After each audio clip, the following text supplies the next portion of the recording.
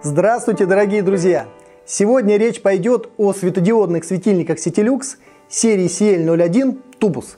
Стильный внешний вид, простота монтажа, широкий выбор светильников и гибкость настроек освещения – все это делает серию Tubus невероятно популярной. В серию входит трековая система с поворотными и подвесными светодиодными светильниками, которые крепятся на шинопровод, и аналогичными моделями настенно-потолочного крепления. Выпускается в двух цветах – белом и черном. Начнем, пожалуй, с трековой системы. Основа трековой системы – шинопровод. Упаковка прозрачная, крепеж в комплекте. Доступны два размера – 1 и 2 метра.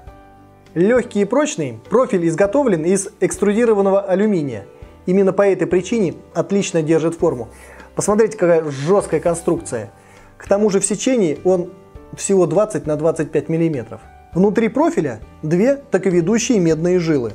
С одной стороны торцевая заглушка, с другой стороны токоподвод. Эти детали изготовлены из полимера. При необходимости легко снимаются. Между собой профили соединяются линейным коннектором. Если нужно соединить два шинопровода под углом, то используется поворотный коннектор, который позволяет монтировать секции под углом до 130 градусов. Если нужна нестандартная длина трека, то шинопровод можно распилить ножовкой по металлу. Монтаж предельно прост.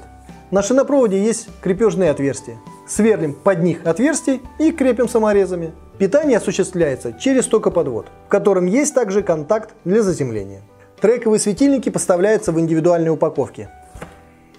Три модели поворотных спотов 7, 12 и 18 Вт. Подвесные светильники аналогичной мощности высотой 300 и 500 мм с регулировкой высоты подвеса. Установить светильник очень просто. Поворачиваем два флажка поперек, вставляем узел в шинопровод и поворачиваем флажки вдоль. Этот узел крепления Самый компактный и элегантный из имеющихся на российском рынке.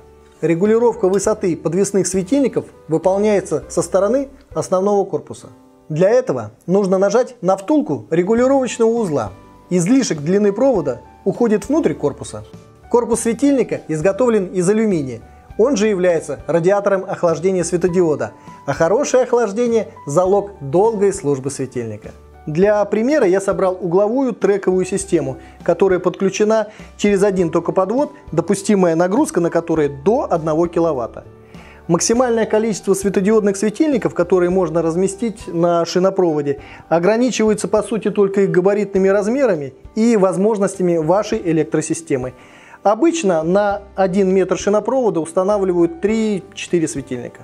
Популярность трековой системы объясняется ее вариативностью. Во-первых, на стадии проектирования и монтажа вы соберете свою индивидуальную конструкцию. Во-вторых, уже в процессе эксплуатации без лишнего инструмента и сложных манипуляций можно изменить освещение в считанные секунды. Убрать светильник или установить новый, направив его в нужную сторону. Теперь рассмотрим модели настенно-потолочного крепления серии Tubus то есть те модели, которые устанавливаются без трека. Тип крепления – монтажная платформа, которая крепится двумя саморезами к поверхности. Основание изготовлено из противоударного полимера.